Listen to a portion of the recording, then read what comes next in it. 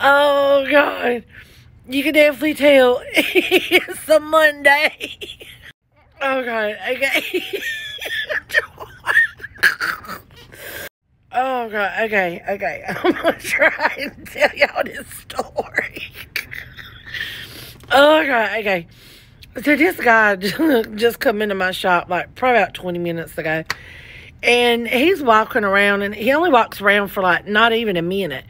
And out in front of my counter where I ring people up, I have what's called a lube station. So it's like just a table full of all different types of lubes. And he sits down on my floor and I'm like, what the hell is he doing? So, you know, I don't say nothing at the moment. And next thing I know, he's taking off his shoes. And then he starts taking off his socks. Y'all, he reaches his hand up to my lube center and grabs a bottle of lube off the shelf. And starts pouring it all over his toes.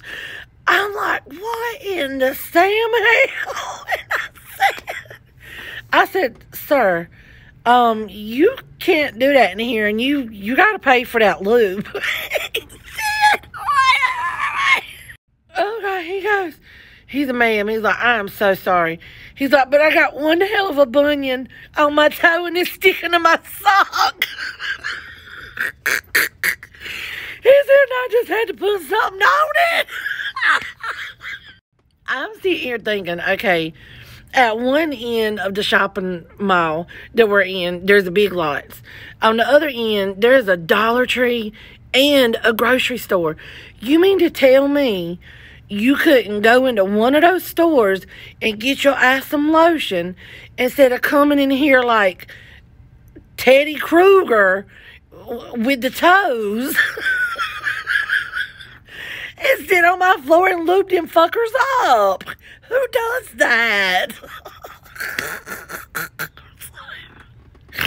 oh my god, I want it so bad.